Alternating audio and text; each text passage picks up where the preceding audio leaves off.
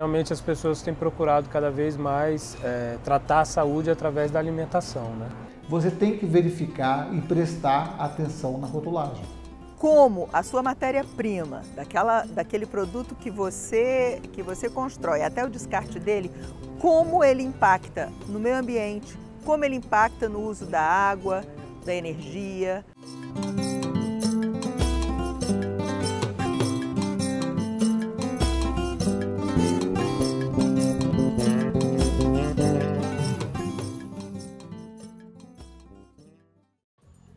Na hora de comprar um produto no mercado, qual a primeira coisa que você observa? Não é nem tão questão de qualidade nem marca, mas é preço mesmo. A primeira coisa que eu olho no produto é valor, depois eu procuro a qualidade do produto.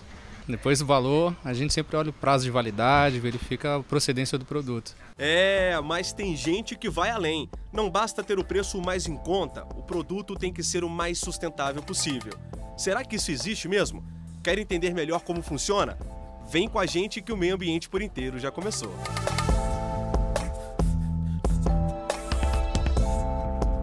Patrícia tem 33 anos, é psicóloga e bióloga. Sempre que vai às compras, o olhar já está acostumado a filtrar produtos mais saudáveis, sem agrotóxicos e livres de conservantes, de preferência 100% naturais. Comecei a ver, né, a estudar mais né, os seres vivos, os organismos e como dentro da ecologia, como uma coisa influencia na outra, né?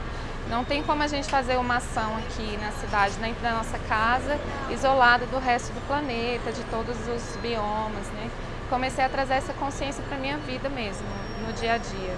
E comecei a me preocupar com o descarte de lixo, com de esgoto das coisas que eu estava usando no meu corpo, né?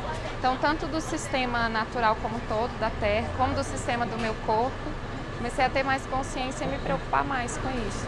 Acompanhamos uma visita da Patrícia a um ecomercado, um lugar onde as pessoas podem comprar quase tudo que se encontra em um mercado comum. Alimentos, bebidas, cosméticos, produtos de higiene e centenas de outros itens. A diferença está nos ingredientes naturais e no processo de fabricação. Nós temos todo o nosso hortifruti é, orgânico, tem a parte de material de limpeza para casa, tem suplemento, nós temos cosméticos também, todos nessa linha de produtos assim naturais, é, uma quantidade deles orgânicos, não todos, mas uma quantidade expressiva, mas sempre os produtos o mais natural possível. Pelos corredores do ecomercado é que a gente observa que existe uma infinidade de produtos. O que eles têm em comum? Todos carregam na embalagem um selo de natural, orgânico ou artesanal. Tem de tudo que você possa imaginar. E quando a gente fala isso, não é exagero não. Quer ver só alguns exemplos? Aqui a gente encontra absorvente natural ou que tal uma fralda 100% biodegradável. Achou estranho? É verdade. Aqui você se perde entre tantas opções. Agora presta atenção. Antes da Patrícia escolher o que vai levar para casa, ela checa todas as informações no rótulo do produto. Faz questão de saber os ingredientes e as etapas do processo de fabricação. Ah, uma dica que ela dá e segue a risca. Sempre olhar se na embalagem tem algum certificado ou selo verde. Assim, ela, consumidora, combate a propaganda enganosa. Tem alguns selos, né, que são selos internacionais, que, que tem esse papel de avisar o consumidor, né, se o produto realmente está seguindo as normas é, de, de, segurança de cosméticos, principalmente, né. Para o alimento tem o selo de orgânico, né, que é do, do governo federal, né. E também tem como pesquisar tem informações que são confiáveis na internet e você vai pesquisando quais os componentes né, na, na fórmula que pode ser prejudicial para a saúde. E na embalagem, quando for olhar, procura esses componentes, se eles têm ou não. Se ela está feliz com essa escolha e quais são os benefícios dessa vida mais saudável? Bom, deixa que ela conta pra gente. São coisas que eu uso para é, manter e melhorar minha saúde e depois não precisar de medicação, não precisar de usar remédio, né? E me manter sempre bem. Para a Patrícia é opção de vida, para outros um negócio que tem dado certo. E os números comprovam isso, principalmente quando falamos de alimentos mais saudáveis. Vamos explicar melhor. De acordo com o Ministério da Agricultura, Pecuária e Abastecimento, a agricultura brasileira é a que mais utiliza agrotóxicos no mundo. Parece ironia, porque em contrapartida a isso, o mercado de produtos orgânicos e naturais cresce cerca de 25% ao ano. Especialistas defendem que a média mundial é de 6%. Ou seja, os brasileiros vivem em busca constante por uma vida mais saudável. É mais do que uma tendência, é um modo de existir e consumir diferente que veio para ficar. Hoje em dia não, não, chega a ser uma coisa assim, só uma tendência de mercado ou uma coisa passageira, mas realmente as pessoas têm procurado cada vez mais é, tratar a saúde através da alimentação. Né? Pergunta ao empresário como ele garante que os alimentos são exatamente o que está escrito na embalagem. Escuta só. A gente sempre teve uma preocupação aqui de conhecer os produtos que a gente vende, isso desde o início da loja em 2002. Então a gente conhece a grande maioria dos nossos fornecedores, a gente conhece realmente as pessoas, já visitamos algumas das indústrias, das fábricas, para poder conhecer a produção. E o produto orgânico ele tem uma certificação independente, né? A fiscalização é rigorosa. O empresário conta que recentemente representantes do Ministério da Agricultura fizeram uma inspeção no estabelecimento para verificar a procedência dos produtos. Eles estiveram aqui para poder verificar alguns produtos do hortifruti, então eles levaram alguns produtos para poder fazer é, uma amostra, né? pegaram umas amostras para poder fazer é, os testes necessários para realmente certificar que aquele produto é orgânico.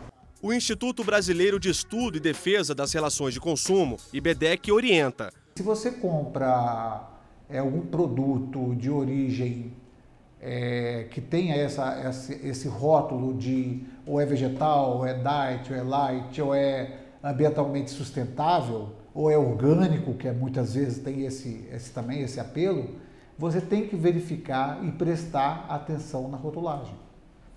É, se for um produto importado, tem que ter toda a tradução em português. É, se esse produto você tiver conhecimento, que nem todos nós temos, de que a composição dele não está correta, o que, que você tem que fazer? Ligar para a vigilância sanitária, a vigilância sanitária vai recolher esse produto do mercado, vai fazer uma análise e vai te entregar um laudo. Com esse laudo você pode, pode promover uma ação de dano material, que é o ressarcimento daquele produto, e de dano moral se ele tinha alguma composição oculta que colocou em risco a sua saúde. E se por um acaso você desconfiar da informação escrita no rótulo, pode denunciar. Você pode comprar e levar para a vigilância sanitária, pode denunciar a vigilância sanitária para recolher esse produto na, no lojista e fazer os testes para saber se o que está anunciado no rótulo espelha aquela situação. Outro dia a Proteste que é uma associação de defesa do consumidor que ela trabalha única e exclusivamente com teste de produtos. Ela fez uma denúncia que somente dois tipos de azeites vendidos no Brasil realmente era extra virgem. E o extra virgem é no mínimo o dobro do preço do, do virgem. Se o consumidor está preocupado com o que está comprando, quem está na outra ponta do negócio também tem com o que se preocupar. Você vai conhecer agora a história do Bruno.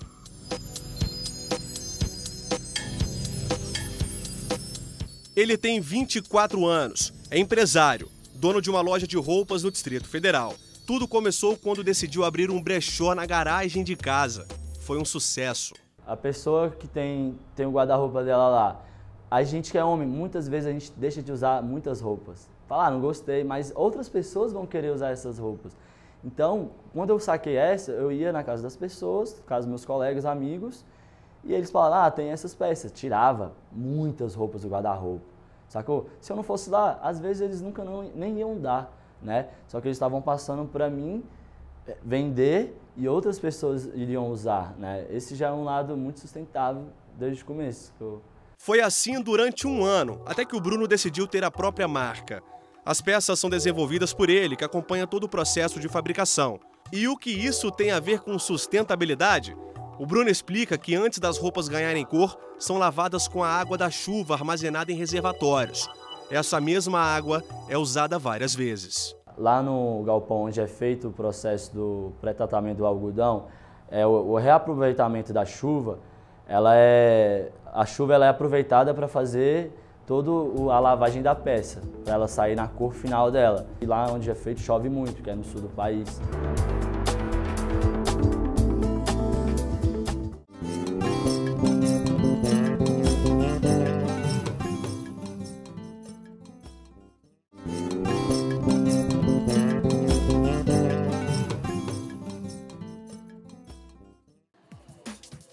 Bloco anterior, vimos que a procura por produtos mais sustentáveis já é uma realidade brasileira. Agora a gente vai tratar de outra questão. Será que todas as informações que estão nas embalagens o consumidor pode acreditar? Bom, é o que a gente espera, né? Alimentos orgânicos livres de produtos químicos, naturais, artesanais, embalagens recicláveis e até cosméticos feitos com matérias-primas renováveis e sem testes em animais. São informações que agregam valor ao produto. Os fabricantes já entenderam isso. Com o tempo, houve uma tomada de consciência dos consumidores, especialmente dos países com uma economia mais forte, onde eles mesmos viram que é, um produto sendo usado, descartado, usado, descartado muitas vezes, ele vai se tornar insustentável. O ambiente fica insustentável. Então elas forçaram o marketing a se reestruturar e começar a criar caráter, a fomentar com que as marcas elas busquem desenvolver os seus produtos com foco no ser humano. E ao focar no ser humano, elas começam a criar valores, como valores sociais, valores ambientais, que podem ser usados nos seus argumentos de venda. É uma corrida maluca para atingir o maior número de consumidores. Algumas empresas, é, elas viram que elas têm um grande apelo com o consumidor para comprar os seus produtos se elas colocarem algum tipo de comunicação pró-ambiental. Né? Então, embalagens é, recicladas é, ou adotar alguma prática produtiva é, ambiental e comunicar isso de alguma maneira é, ao consumidor, é, elas viram que isso pode ter um apelo para a venda e terminam colocando isso de alguma maneira, seja através das propagandas, seja através das, das embalagens. Elas tentam comunicar isso para ver se isso é, influencia o processo de decisão. No mundo capitalista, o dinheiro precisa girar. As indústrias aumentam a produção conforme a velocidade de consumo. E essa relação nem sempre é fiel. Por vezes, somos enganados. Estamos falando da rotulagem ambiental, popularmente conhecida como maquiagem verde. É um conceito que já tem sido construído em vários países, que a gente chama em inglês de greenwashing, greenwashing que defende que as marcas elas precisam ter uma estrutura sustentável, tanto no argumento quanto na cadeia produtiva, mas se transforma em maquiagem verde quando esse argumento fica apenas no argumento publicitário. Acontece, gente, não se assuste, é mais comum do que se imagina. Então vamos lá. Afinal, o que o consumidor deve fazer para não cair numa armadilha dessa? O consumidor ele fica meio que órfão nesse caso porque as instituições elas não protegem ele na hora do ato de compra. A proteção vem pós ato de compra. Né? Então ali quando ele está na gôndola é complicado para ele conseguir saber se um produto é ou não é efetivamente sustentável. Agora o que ele tem à disposição é a internet. Né? Na internet você já consegue hoje pesquisar e saber se aquele produto traz ou não traz danos, porque a produção né, de conteúdo ela é completamente é pulverizada hoje, muitas pessoas falando bem, outras pessoas falando mal, e isso serve de parâmetro para você poder decidir se aquele produto corresponde ou não corresponde. Pode parecer estranho, mas é importante a gente lembrar que a fiscalização deve começar pelo próprio consumidor. Se identificar propaganda enganosa no produto, deve denunciar ao CONAR, que faz a avaliação dos anúncios. O Código de Ética da Atividade Publicitária permite retirar a propaganda. Vamos à prática. Existe uma metodologia chamada avaliação de ciclo de vida. Já ouviu falar? Tem tudo a ver com o programa de hoje. Fora do Brasil, isso já é realidade há bastante tempo. Aqui o assunto está começando a ganhar força. O objetivo maior dessa metodologia é, a partir da sua realidade, ou seja, o seu clima, topologia, todos esses elementos, como a sua matéria-prima, daquela, daquele produto que você, que você constrói, até o descarte dele, como ele impacta no meio ambiente, como ele impacta no uso da água, da energia, da emissão de gases, enfim, todos os processos que estão envolvidos da produção até o descarte daquele produto. Tá vendo como faz sentido? Mas para ficar ainda mais claro para você de casa, pedimos para a diretora do Instituto Brasileiro de Informação em Ciência e Tecnologia e presidente da avaliação de ciclo de vida mostrar alguns exemplos. Vamos ouvir. Por exemplo, ele vai ter que estar atento se a matéria-prima dele ela está, se for de, de, de, na área de alimentação, que tipo de trabalho é usado ali, se existe trabalho escravo ou não, se existe, é, é, se, é, se é orgânico ou não, enfim, a procedência do material, da matéria-prima dele, seja ela qual for. Depois a utilização dela nos processos de fabricação, até ao final, quando ela vai ser descartada, para onde ela vai.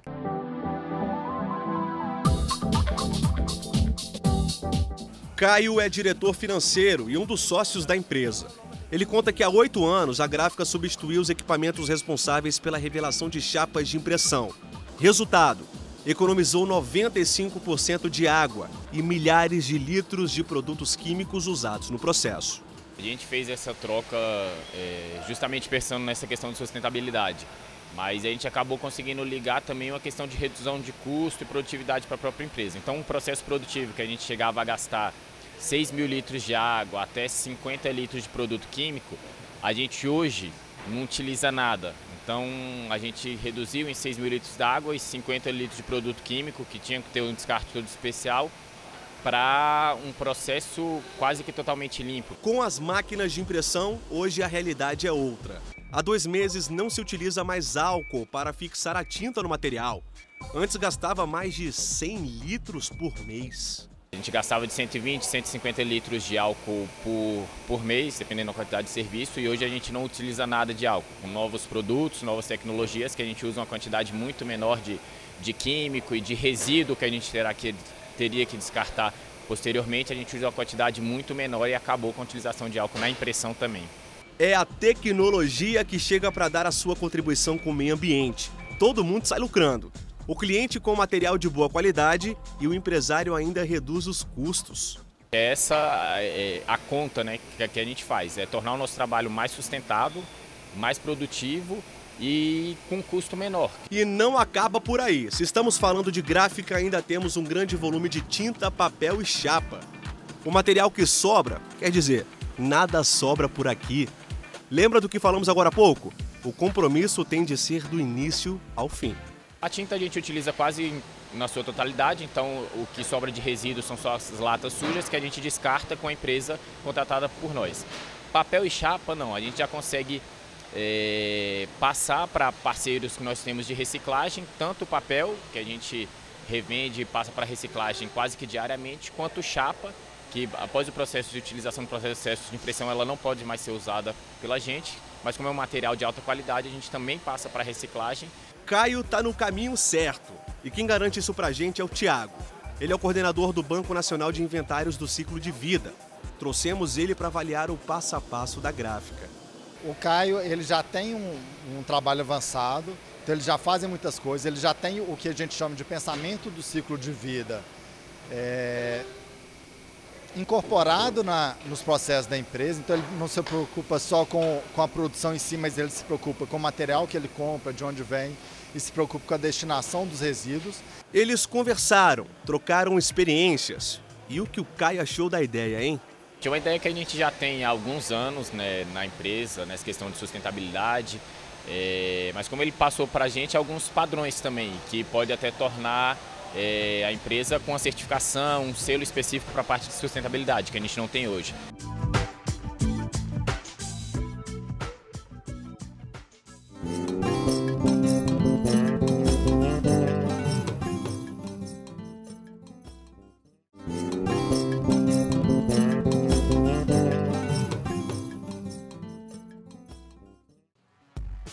Já vimos no programa como é importante um produto ser feito de maneira sustentável, gastando menos recursos da natureza.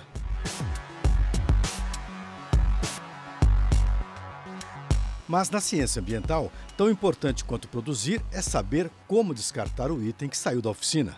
Descartar, mas sem ferir o nosso planeta. Esse processo contabiliza tudo o que entra para se fazer um sofá, por exemplo, e tudo o que sobra quando o descarte é feito. Mais que isso, os cientistas calculam o tempo que o descarte final ficará exposto a céu aberto até desaparecer totalmente. A questão é saber quantos anos isso pode levar sem contaminar o solo. Esse processo delicado tem nome: é o ciclo de vida de tudo o que usamos em nossa existência. O meio ambiente por inteiro descobre, por exemplo, que a quantidade de água usada em um plantio de cana-de-açúcar pode determinar se o negócio vale a pena ou não. E quem pensa que a cana pode se dar bem em qualquer lugar está enganado.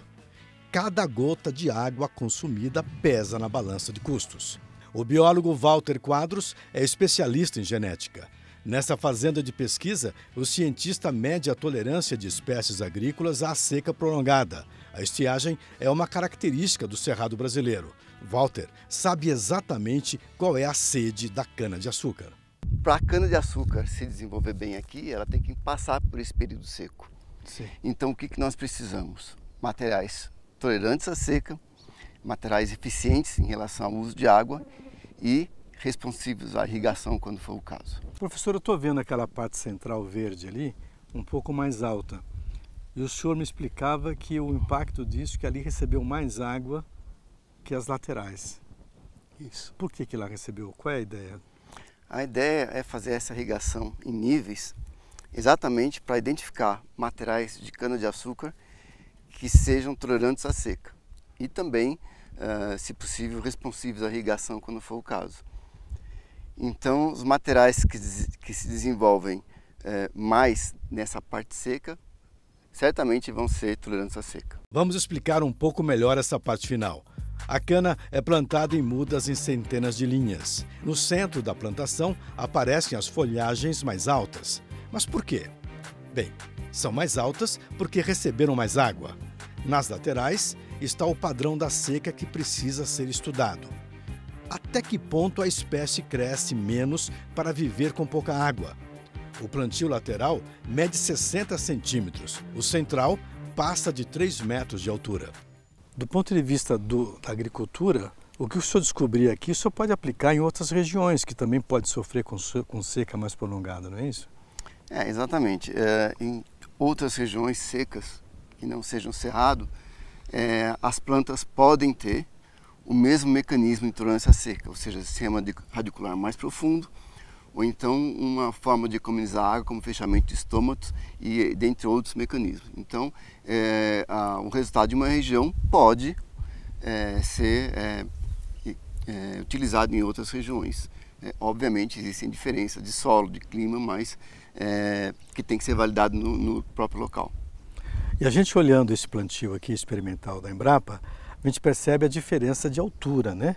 Você vê, vê realmente a parte mais alta no verde, e depois esse tamanho vai decrescendo proporcionalmente à menor quantidade de água servida às plantas. Mas isso não quer dizer que as plantas é, morram. Elas estão se adaptando a uma condição mais dura de sobrevivência. Não é isso, professor? Isso. Mas, obviamente, uh, se for possível irrigar e aumentar a produtividade, essa pode ser uma possibilidade, embora antes de se recomendar a irrigação, tenhamos que fazer uma série de trabalhos para é, não só da viabilidade econômica dessa irrigação, mas também da viabilidade ambiental, né, uma vez que, que é, cana-de-açúcar é, normalmente tem grandes áreas e isso certamente tem um custo ambiental. Isso tem que ser estudado antes de se recomendar.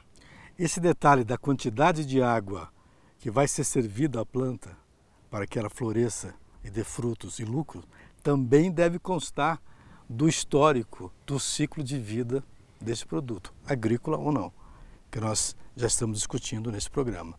Professor, eu estou vendo também aqui essa palhada solta. Quanto tempo que está essa palhada aqui? Bom, essa cana já está aqui desde é, 2010 e são vários cortes.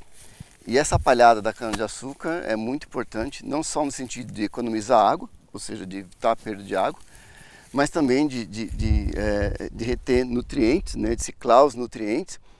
Então, tudo isso, é, é, acho que uma palavra para sintetizar tudo isso seria sustentabilidade. Nossa equipe convidou um especialista em rotulagem ambiental.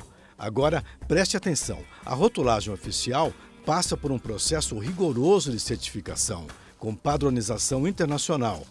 O novo padrão segue a certificação internacional da ISO 14044. Uma cana como essa, Tiago, que impacto que isso tem no ciclo? O impacto disso é imensurável. Né?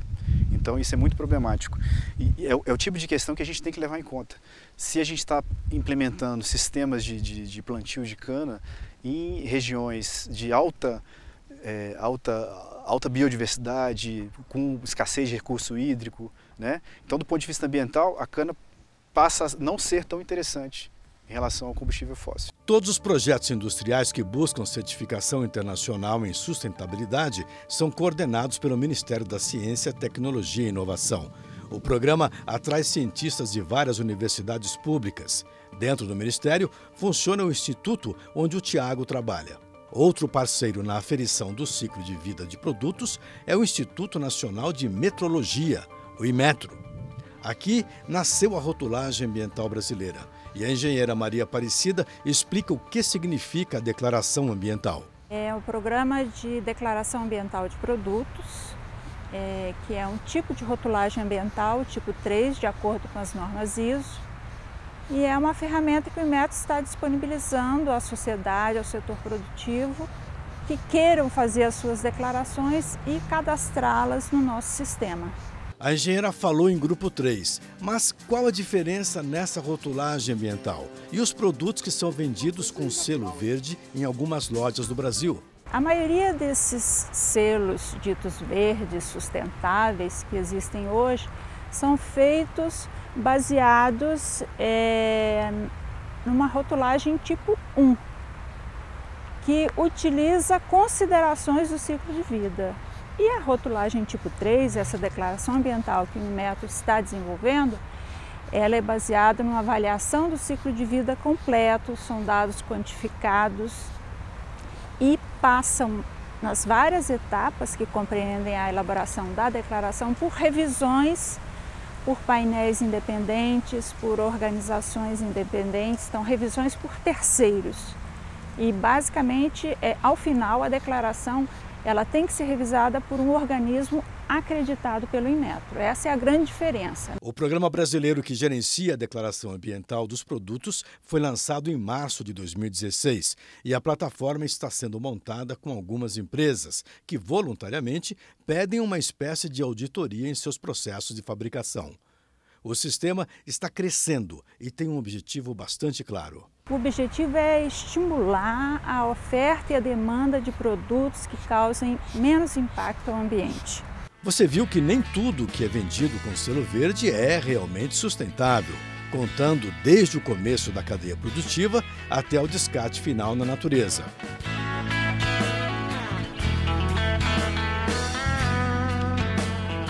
E o meio ambiente por inteiro fica por aqui.